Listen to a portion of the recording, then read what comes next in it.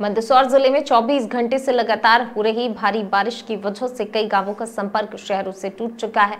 वहीं निचली बस्तियों में पानी भरा जनजीवन अस्त व्यस्त हुआ है। आपको बता दें कि लगातार पानी का जलस्तर बढ़ने से गांधी सागर बाँध के तीन बड़े और पाँच छोटे गेट खोल दिए गए हैं। नदी नाले पूरी तरह से उफान पर हैं, जिससे कई लोगों के घरों में पानी घुस गया है। भारी बारिश के चलते पुलिस ने अपील की है कि कोई भी बारिश में घर से बाहर ना निकले। वह किसी भी प्रकार की कोई भी खबर हो तो तुरंत थाने में सूचित करें।